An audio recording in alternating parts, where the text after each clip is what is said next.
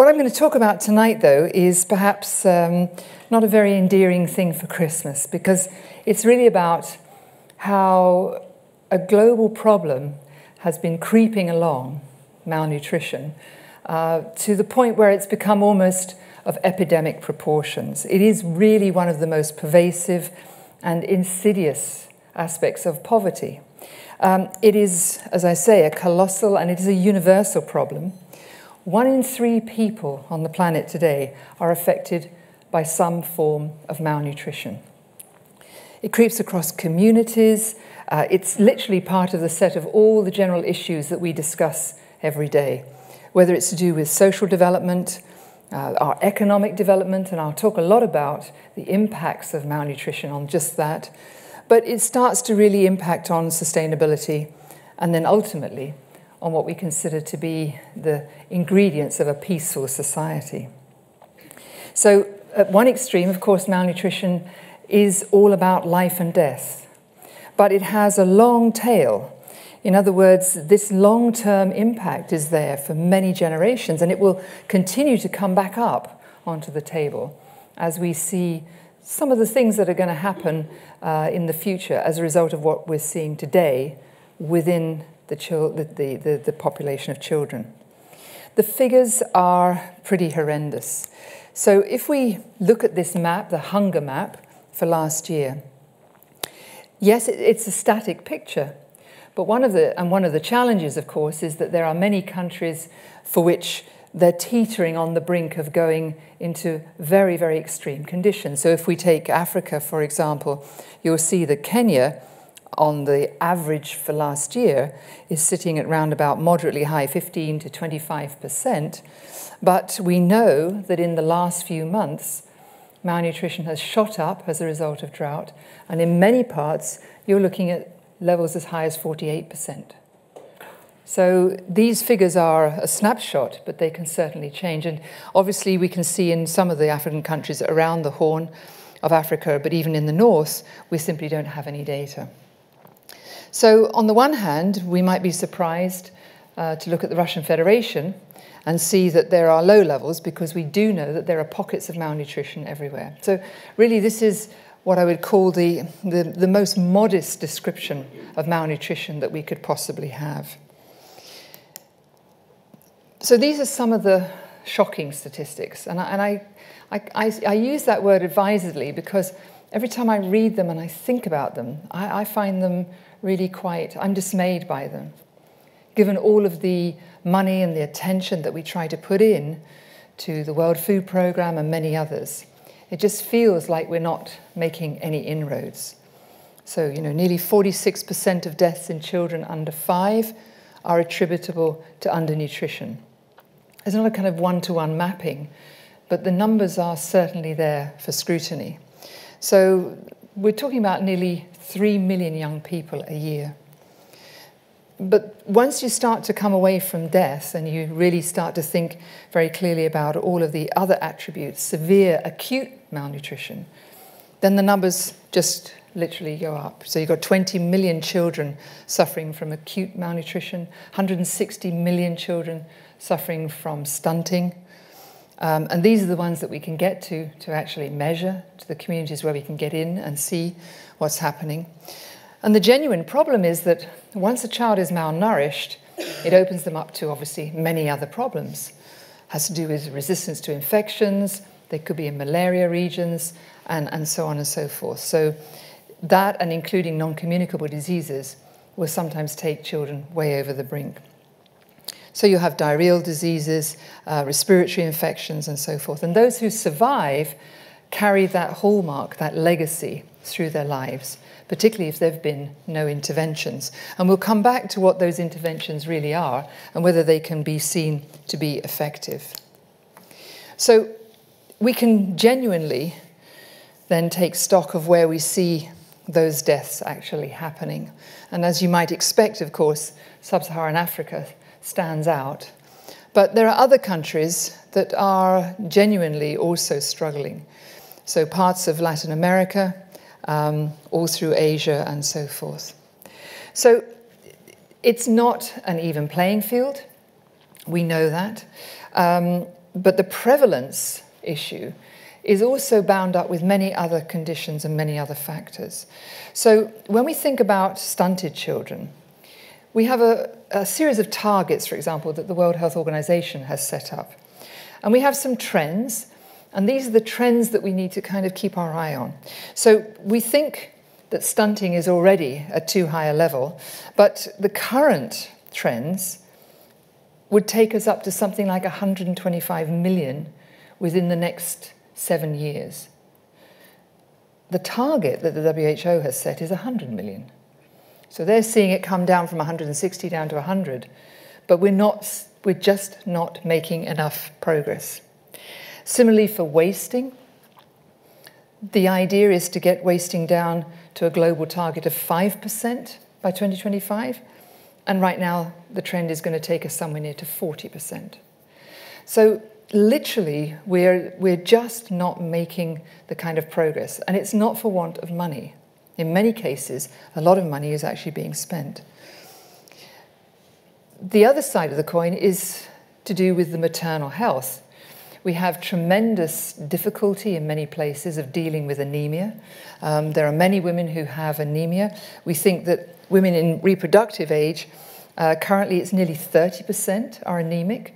That absolutely goes across the world. You don't have to be in a developing country to suffer from anemia but the target is 15%. And again, it leads to persistent low birth rates, uh, birth weights. It leads to reductions of many, many uh, of the kind of functioning uh, capacities of children and of their mothers. Breastfeeding can obviously compensate for that. And here's the other side. We have uh, the WHO looking and seeking for a target of something close to 40%, 50%, but we will fall short of that, short of that as well.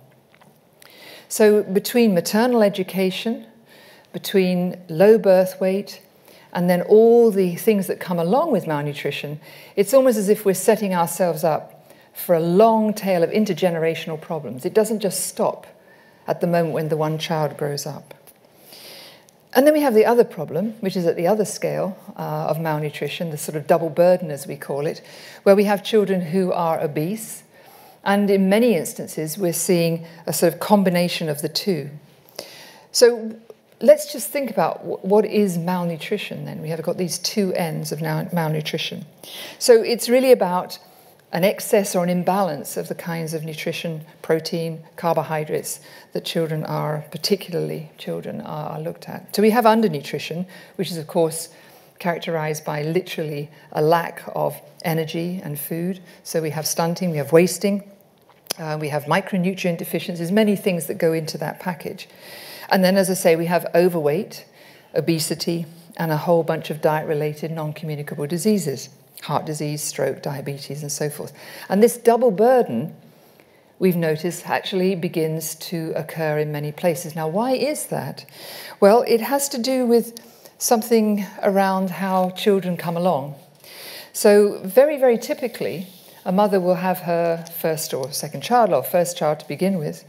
And then what will happen is another child will come along. So the first child is, so to speak, taken off the breast and then given, in many cases, pure carbohydrates. And that child then starts to go down another developmental um, uh, pathway. So, what you begin to see are these two types of malnutrition. And on the right hand side, we see a child suffering from what's called marasmus. It looks shocking. I mean, you know, when I first arrived in the village where I live, there were children who looked like this. Um, they're little pot bellies, they're skinny, they, they have hair that's sort of pigmented and variegated, their skin is hanging off, they've got almost feels like burns. Um, they, they, they literally, um, they're, they're very irritable, they don't have an appetite, and so forth. And on the right hand, on the left hand side, you see children that are uh, somewhat, they look somewhat better, the kwashiorkor uh, condition. And, and unfortunately, the children on the left hand side are far, far less able to, so to speak, come back from the condition they're in. They're edematous, they, they, they literally are almost, um, they're suffering from a, a lack of absorption. They have a damaged absorption capacity. And so, whilst they look to the outside as if they are okay. They actually are losing muscular mass. They have an edema. They have a lot of immunodeficiency problems. They have vomiting, infections, diarrhea, and so forth. Now, I put these two pictures up because often when you see pictures in the press and you look at famine and drought and so on, and the one that's just happening now, and we will have another El Nino next year, so it is very likely, unless there are different kinds of interventions, that once again we will have many, many children who begin to look like one of these two categories. The kwashiorkor is really because of a lack of protein in the diet, whereas the child on the right with marasmus is essentially a child that has had just insufficient food, insufficient nutrition. Kwashiorkor, by the way, comes from an African term meaning the first, second child. So, this is the condition that is very typical of the baby that has been taken off the breast and starts to feed on solids when the new baby comes along. What a lot of research has done now, though, is to look at the conditions under where these two, two types are found and started to really understand over a, a long period that this is really where the impacts are felt, and that is in the development in the first thousand days, including pregnancy, of executive uh, skills, your executive development. It's part of cognitive development, part, part of the cognitive behavior. And there's a whole suite of executive powers that are developing as these children, at this particular stage in their life, are beginning to grow. So let's just take a, a look at what today happens. In the kind of industrialized thinking, we will take packets of food, RTUF. These are sort of ready to use therapeutic foods that can be delivered into the field. Uh, we have the World Food Programme delivering sacks of rice and many other things, sort of directly into communities that are suffering under an emergency from a lack of food. And that could be because of floods, because of droughts, and so forth.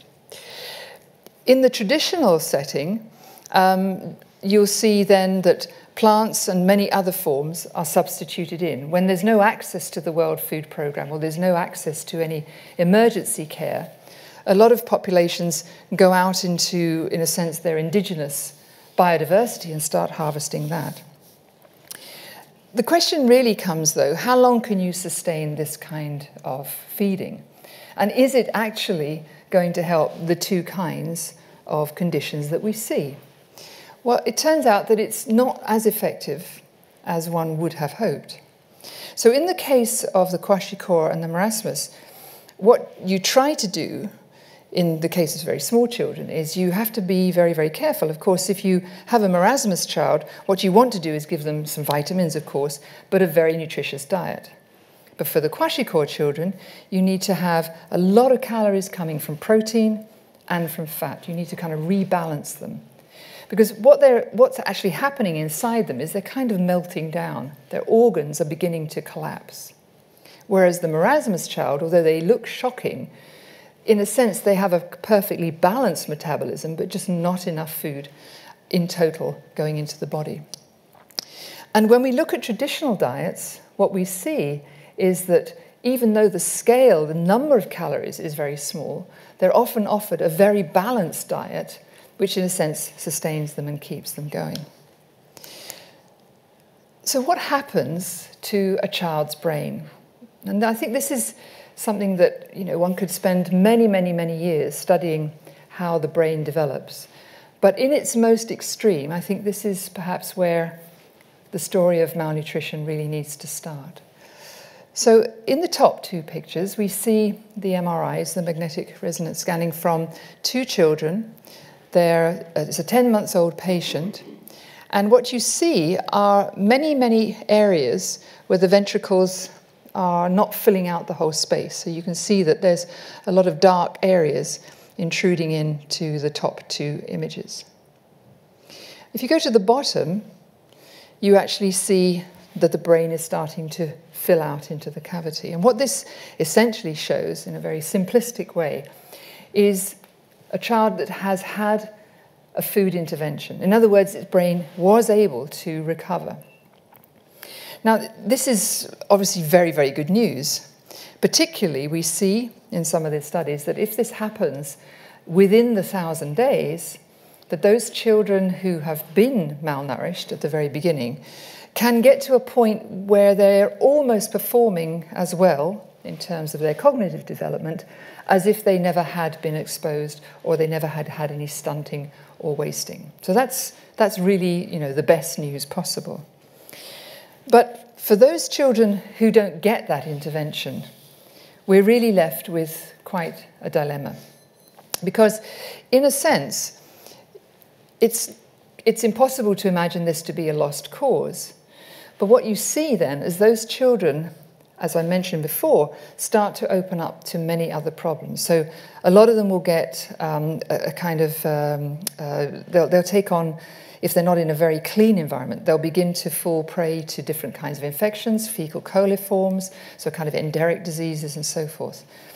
Now, what a lot of the development world has done is to focus on precisely giving clean water, sanitation, washing hands. But more recently, it's become very apparent that even as you're moving into the middle income countries, where you, you have a modicum of sanitation and reasonably good food, but still not enough to avoid what one call malnutrition, still children are dying. And the question is why? What is it that makes it impossible for, in a sense, a child to be able to grow properly and to have a proper vital life? So it's much more complicated than just simply saying you give food to the child and you make sure that they have vitamins and proteins. In fact, it turns out that you have to have a very high quality of housing, piped water, good sanitation, good education, because every single part of this all fits together along with a nutritious diet. And so the MRC, the Medical Research Council in Gambia, did a very, very sort of interesting experiment. They took the entire population in their research station, that included the doctors, the, the, the, all the trained staff, together with the villagers. And so they had a whole range of housing, they had a whole range of diets, and then they had sort of people who were kind of halfway in the middle between sort of the mud huts and between the sort of what I would call the very high quality housing and the type of food and the sanitation. And of course, what they found was that the children who had very good housing, uh, safe and secure, had good food, and were educated, essentially performed as per the best kind of uh, curves that you could imagine and all the kind of cognitive development. The interesting ones were the ones in the middle where they had suitable accommodation but were really unable to utilize the very best of it. And so they actually fell below the curve for some of the development as well. So, this is what the, gave the Medical Research Council the idea that there's a threshold of housing, there's a threshold of sanitation, there's a threshold of what you need to enable children to grow properly and to essentially reach their best potential. Now, there's some other things that happen with children who are malnourished. There's a lot of evidence to show that children who are brought up in multilingual households actually do very well because they develop a lot of neural pathways, they essentially enhance a lot of their abilities. But if you have a child that's already stressed, essentially with a brain development that's already not doing as well as, as its um, uh, uh, counterparts, and then you put that child into a multilingual environment, what you see is that they fall back even further. It's almost as if the extra stresses on those individual children is just too much. So, when you think about refugee camps and you think about where we're putting a lot of children, those who are moving, those who are migrating, and I'll come back to that at the end about uh, climate change, we see a lot of children are exposed in the first instance to the stresses of moving, particularly when they're little. Uh, they're in poor housing, poor sanitation, they're probably in a multilingual environment because they're moving around, and then you can't guarantee that they will have sufficient food. So they've got sort of multiple things happening against them as opposed to just simply it being enough food. So when you see children in the refugee camps and you see that they're suffering because they don't have enough food, there's, there are many, many other things that are happening to their brains. One of the first things that you can guarantee with children who are malnourished is that the hippocampus itself, and I'll come to what that is, it's part of the limbic system, is really not developing. Now, this is not a problem that's just restricted to the developing world. There's a number of studies that show, and this is just one example uh, from uh, Washington, where researchers found that when you, found, when you have children with very poor parents and with poor parenting skills, again, all those attributes that we were talking about, then you also see that they have a smaller hippocampus. So please don't think that this is just a problem of the developing world. This is creeping up the agenda. And although we don't have very good figures Uh, or explicit figures on malnutrition for London, what we do know is that there are pockets across East London where malnutrition and other problems do exist. But it's compounded by the fact that the quality of housing and potentially some of the educational issues that go around that are part of the problem, they're not something separate. So let's just let's go to the limbic system itself. So this is a small cartoon um, because I'm never quite sure whether people want to see pictures of brains. So this is a cartoon of a brain, and just to kind of orientate you, uh, the the long grey part that's coming down is the is the uh, stem uh, going down the spinal column. If you can imagine that facing out to you are the eyes and the face, so this is the part of the brain going backwards. And so what you have are four major parts. You have the hypothalamus, um, it's like, uh, let me do it in layers. So we have the, sorry, we have the thalamus. Underneath that, we have the hypothalamus. A very small part represents about 1% of the, of the brain. The amygdala, the two purple coloured uh, pieces, uh, the blobs there, and then the hippocampus. So let me just quickly kind of rehearse what all of these parts of your brain do, and you'll begin to understand why any part of it is important, but there are some that are even more critical. So the thalamus is like a, a relay station. All of the senses, except for smell, get translated through this relay station, and essentially that's your emotional package. And, and interestingly, smell, and you know sometimes when you smell something, it gets very, very close to a deep, a deep emotion comes out of you. And that's because it doesn't go through the relay system, it goes straight into, the, it goes straight into your brain, all right? So that's why smell is rather, rather special. So the thalamus is, is a, relay, a relay system. Then you have, uh, let's go to the amygdala. Now, the amygdala is really important. It's the thing that really controls how you seem to the outside world. If, have, if, it's, if it's prodded in a positive way, so to speak, um, you can generate fear and anger and violence. All right? But if you were to remove or to essentially um, not have a well developed amygdala, you would see people who are mellow. There's this condition, the Kluver-Bucy, and you've got then the equivalence of if you go out and drink alcohol, for example. You get hyperorality, hypersexuality, a kind of disinhibited behavior. All right, so that's what your amygdala is doing. Now we'll go over to the hypothalamus, and that's it's pretty much controlling the whole of the autonomous nervous system. It's bringing it all together, it's making it coherent, and it's making you the kind of emotional package that you really are. But the hippocampus is probably the most interesting when it comes to executive powers and, and the cognitive development. Now, why is that? Well, it's the place where your short term memories come in and essentially get turned into the long term memories. So, when you're, let's say you're in a crowd of people and the way in which you're going to interact with them, it's as much about your understanding of their experience as it is of your own experience. So I want you to hold in your mind this idea of being in a crowd. It's, it's rather important. So there's a very, very, very good study called the Young Lives Study, and the, the researchers looked at many hundreds of children in Ethiopia, Peru, India, and Kenya. And they looked at this cohort across multiple age classes, going from age one all the way through. The first thing you find, of course, is the big educational differences in the parents and the maternal education. And then you, you measure something called the height for age score, the HAS score. Now, in the first year, nearly all of these children, you could see that there was a positive association between how this height um, for age and cognitive development go along. So, in sort of year one, what you'll have are children who are beginning, in a sense, to develop concepts of familiar faces. They understand the stranger.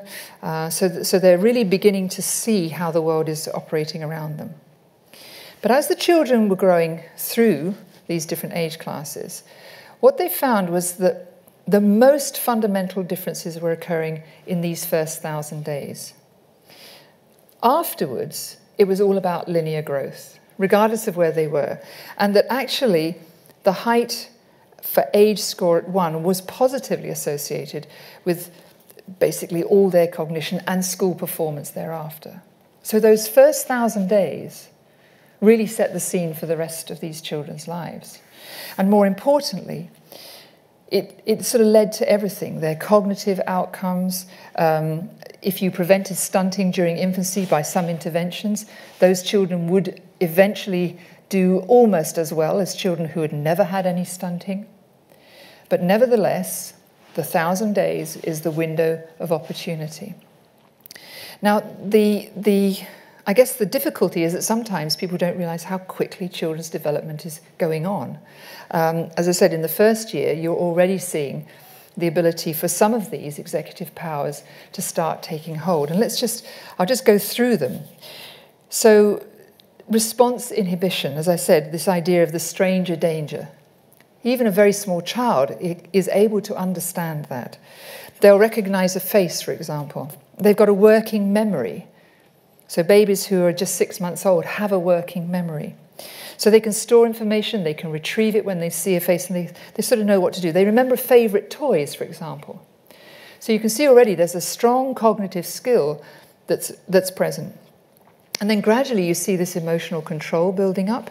So, although the very young ones don't have it, you can see it developing very, very quickly. So, by the time they're one and two years old, you have already the possibility of emotional control. They have attention. So, children, even at that stage, have attention. And if you've watched a small child, even a one year old, they can actually look at something for a very, very long time, almost transfixed by it. But as children go through and come out of the 1,000 days, that's when flexibility starts to really take root. And so you have this combination of the working memory, the emotional control, the attention, and the flexibility is how it all gets packaged together. Now, let's go up to the limbic system and imagine that those cavities, those gaps in the brain, were not well developed, and that the hippocampus itself was very small in comparison to um, age, the age cohort.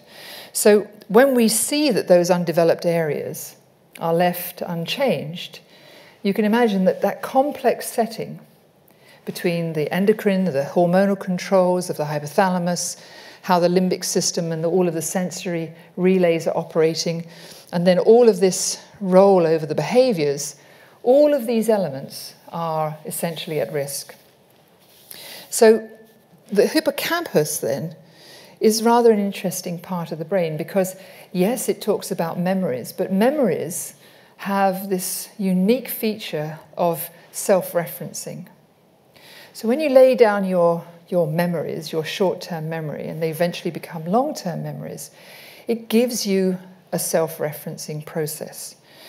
So, what that means is that when I see someone going through a whole range of emotions, I kind of reference them back to myself. So that's what the self referencing means. And so essentially, when others have got things going on, there are accomplishments, positive, negative, everything's coming back to me. It's all self referencing back to me. And whether I'm delighted by somebody or not has to do very much with my long and, and let's say very long, in my case, experience of many things that have gone on. Now, if you look at these causality maps, you can see the little coloured areas. So it's just to tell you, essentially, this is where it's all sort of happening in the hippocampus. Um, so imagine when you have a child that has had malnutrition during its early stages of growing up in the first thousand days, um, these are the parts of the brain that essentially are affected and light up in this case in terms of what we're showing admiration for a virtue. compassion for social pain. So your brain is actually reflecting your own self referencing, your own memories, and then uh, giving you the cognitive skills, the executive skills, to be able to respond in a way which is flexible, controlled, and so on. So, the hypothesis that I will put to you then is that if the brain doesn't have the same capacity, in other words, it is damaged, it is slightly incapacitated, all the way through to being very incapacitated, and then you find yourself in a crowd of young people, an angry mob, a group of people who were malnourished at birth, you may not get the reaction that you expect you may very well get people who react very violently. And in conversations with a lot of political leaders and, and so forth, I've often said, do you actually really think that these young men and women, often men, out in the streets with sticks, are there for the political ideology? No, of course they're not. They're there often because they've got swept up in a way where they can't relate to the social dynamic that's going on around them. They'd have no self referencing. And so the, the sort of the sad thing is that you have a young generation of people who've gone through enormous troubles in many cases, particularly in Africa, where they've been displaced, they've often migrated or they've become migrants. They have a very unstable or very insecure food basis as they've been growing up. They might even be the second baby, the kwashiorkor. Um, they don't live in a setting which has got stable sanitation or housing. And so there's a whole litany of things. And so when we actually have been able to look at the MRI of some adolescents, we see the hallmarks of early onset or very early malnutrition. So you carry this with you if you're a young person in those sorts of circumstances. That's quite a that's quite an indictment, I would say, and a very, very difficult situation because what are you to do?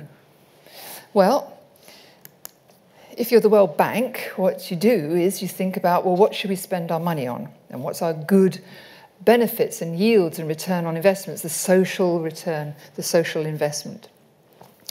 And it turns out that, in fact, you could spend very little money and get an enormous financial benefit back. So, just from that perspective, the financial return, the numbers begin to stack up. So, if you look at the kinds of targets that I was talking about earlier, the stunting, the wasting, the breastfeeding and anemia, tackling those, you know, so effectively putting money on the table for women's health, for children's health, for their nutritional status. And now let's add sanitation, housing, and so forth. You will undoubtedly affect cognitive development. You will quickly affect their learning abilities, ultimately, their productivity as adults, which will lead to wages and so forth. So, using that calculus, very, very simple calculus, you get these kinds of figures where you know you invest a very small amount of money and you get an enormous amount out because it's such a simple thing to affect children in those first thousand days is one of the most, let's put it this way, uh, valuable investment that you could make in the human population. And the bank itself recognizes it. Their frustration is, though, that these directed programs just on food simply aren't as effective as one would imagine. Even if you go single micronutrient by micronutrient, that doesn't seem to work either. It seems to be that it's the whole picture in which a child is brought up. So we can, we can fix things, we can send food in, we can try to do lots of education. But this is a, a genuine, integrated, sustainable development problem that requires multiple, multiple actions. And then we have the kind of disturbing fact well, perhaps it is too late for some of these young people, that, that you never really can rebuild what's been lost. So you might find yourself in any part of the world surrounded by hundreds of young people who literally have been set back. You know, they're at the bottom of the, they're at the bottom rung of a ladder of development. And so we've been asking the question well, would it be possible to use artificial intelligence and deep learning algorithms to try to see if there were non intervention but educational processes that could stimulate the brain with, let's say, a very intensive nutritional and security package around an individual to try to build back in the convolutions that were lost as those children were being brought up. And that remains a, an outstanding question. And of course, it's, it has many ethical dimensions. You know, do you intervene with young people, young adolescents, who maybe seem to be getting on all right? But their level of compensation has got limits. You can't simply turn someone into a well functioning adult if they don't have the constraints or the emotional ability to participate in society at large. So let's, let's end by saying it is really an environmental issue as well. Um, many of you will know that there's a negotiation going on in Poland at the moment on climate change. And one of the, one of the escalators, because climate is genuinely a threat multiplier, is how many people are put on the move because of climate change. So, right now, we have about 65 million people who are internally displaced who, who can genuinely be attributed to having had to move because of climate change. And that's because either the drought has hit, crops have failed, water has failed, or there's been a flood, whatever. And obviously, we come back to the same kind of map, and this just goes endlessly round and round and round. So, what can one actually do to avoid people having to move all the time? Well, there's clearly things you can do on the ground. There are localized issues that can be identified ahead of time, planting trees, making sure there's sufficient water and energy, and so forth. But the kind of climate change that we're seeing now, for example, in Eastern Africa, is it's sort of extraordinary. So we know there's an El Nino coming. And in the past, that would have meant a long drought. But if I tell you it hasn't actually rained in the Rift Valley since June, you can imagine what the state of the cattle are. You can imagine what the state of the grass is. You can imagine what the state of the populations are. But this is not yet declared to be any kind of disaster. And literally, what happens is people just knuckle down and take their rations down with them. They move into different kinds of food. Uh, they eat very little, they drink water, they have a few plants, and occasionally they'll slaughter a cow. But even then, the cows are just skin and bones, and similarly, the goats and the sheep. And that's actually what people have done in the past. They've essentially just, as you might say, straightened their belt and, and sort of think, well, the, the, the rains will come. But if there's an El Nino next year, the rains aren't going to come. They're not going to come in the way they did. There may be a couple of days of rain in the, in the January period, but it's very unlikely that we will see rains now, maybe for even another year. So, what's the government doing? Right, well, not a lot, but anyway, I'm sure they'll get the message. And so the question then is is this the moment when you say we have to stop just delivering vast amounts of food that, in a sense, isn't going to sustain not just the population, but young children who are essentially at risk of malnutrition. We need to rethink the whole way in which we take populations forward. So, the first thing is you see that actually, even when there is a drought and even when there are floods, there are quite often very small pockets of food production. But they get swept aside in the whole development and the whole kind of emergency response. And I've seen it happen again and again where the smallholders, the little kind of farms here, there, and everywhere, which are actually able to produce just about enough food to keep many people going, are essentially put to one side and an industrial process starts over here. So last year, um, there was an experiment done. It was done in Isiolo. And what they, what they did was they put malnutrition, they put children at the core. And they when I say they, it was the Red Cross and it was all the international organizations. And they came together and they said, okay, so how could we take children and the whole population through a drought in such a way that it's not about putting rice on the table or some kind of carbohydrate just to fill up the stomachs, but to put a nutritious diet? And what came out of it was quite extraordinary. First of all, it was one of the biggest and most immediate uses of blockchain. What they did was they gave to every person who could come with an ID, they gave them directly the funds. And what they could do with those funds then was entirely up to them. They could go and buy food locally. They could buy small amounts, but of highly nutritious food.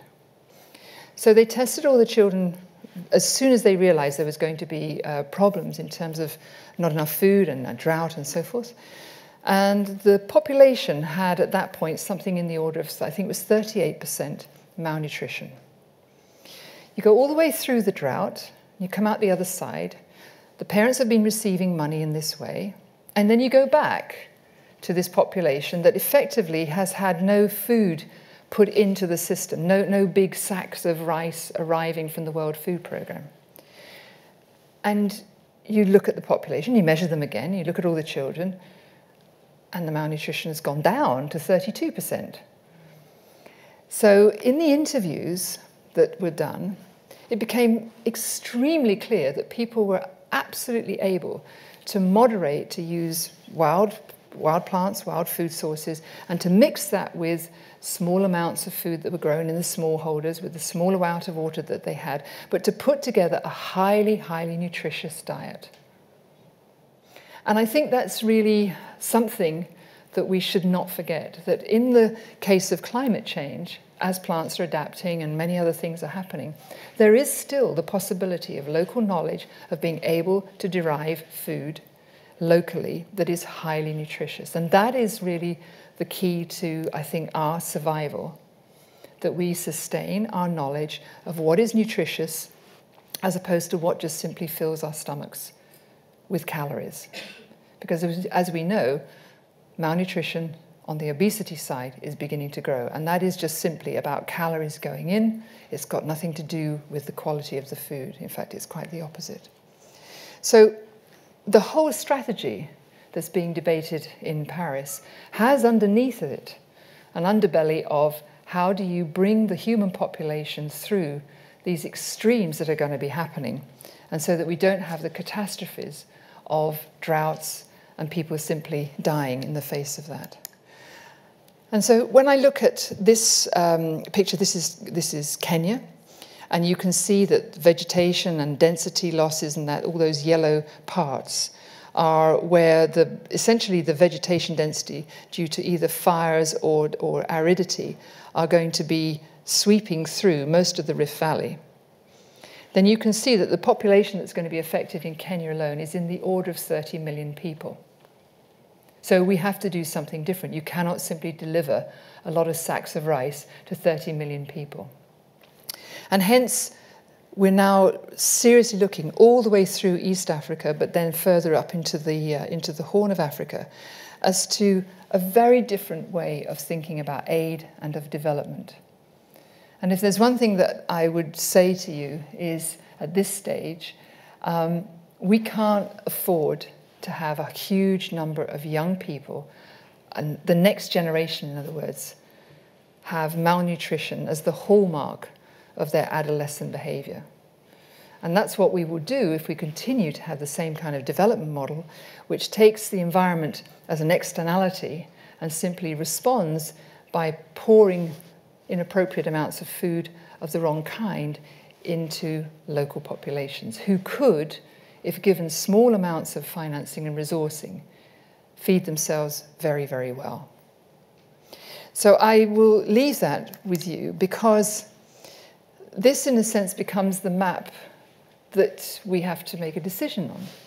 If you allow the system to run as it currently does, and looking at the behavioral prototyping that we've seen and the kinds of impacts of, of malnutrition, and where people will be moving because of climate change, the internal migration, and then the migration across Africa into Europe, essentially moving all around the world. You're going to have millions of young people who will be essentially on your doorstep, in our homes, in our environments, who need special attention because, for no fault of their own, they did not get the possibility of a full mal, a full nutritional um, 1,000 days at the beginning of their life, which gives them the full spectrum of executive skills and cognitive development. And so, uh, in a rather controversial way, I'll leave this slide. Um, you could have the map of happiness or prosperity if we pay attention to malnutrition as a long term intergenerational problem. Or you could start to badge people because of where they've come from, not truly understanding that it's not the color of their skin, it's not the language they speak, it's the fact that they never actually had a good start in life because of malnutrition. Thank you.